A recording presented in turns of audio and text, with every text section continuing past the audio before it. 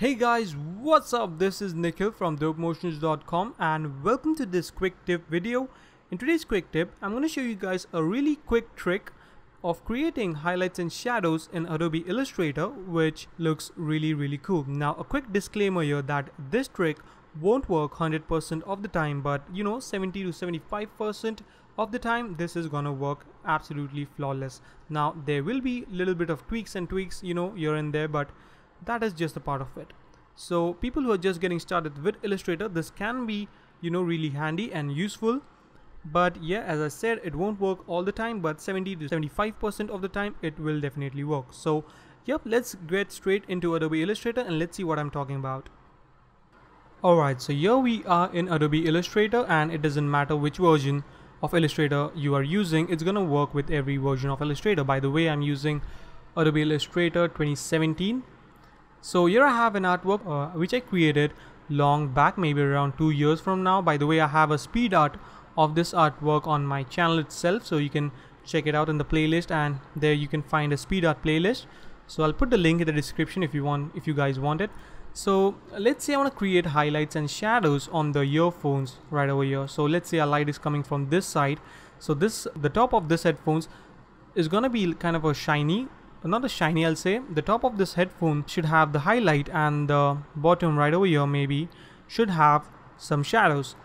So to create some really nice uh, highlights and shadows what I can do is I can select the layer right over there hold alt to duplicate it just like that and hold shift to just drag it just like that.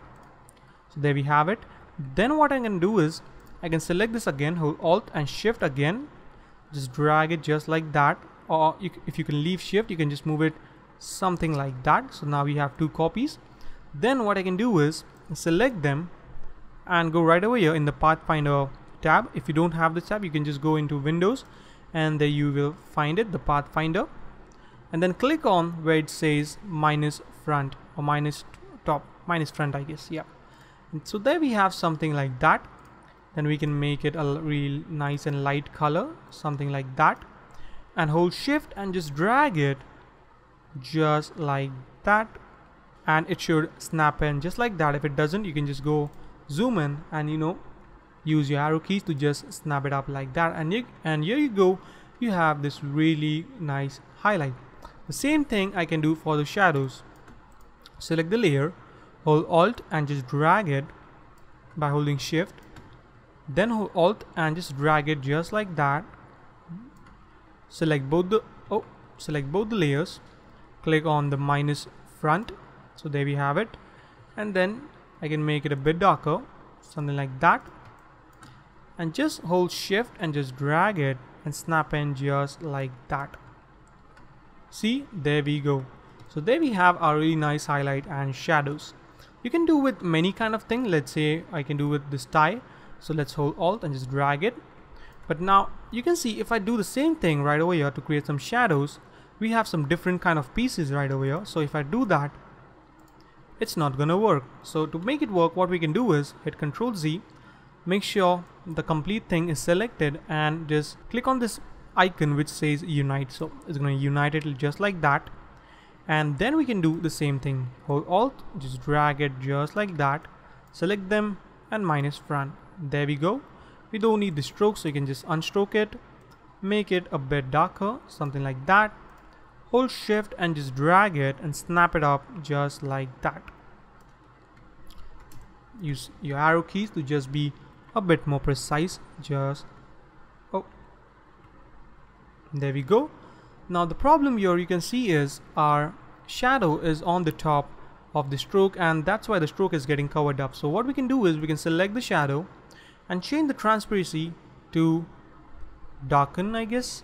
Yep and there we go. Now you can see here we have this kind of an artifact you can say which doesn't really look good. So to make it smooth you can just select the select the direct selection tool. Select this point. And there we get a circle like that and just drag it. So we have something like that. Same thing I'm gonna do right over here.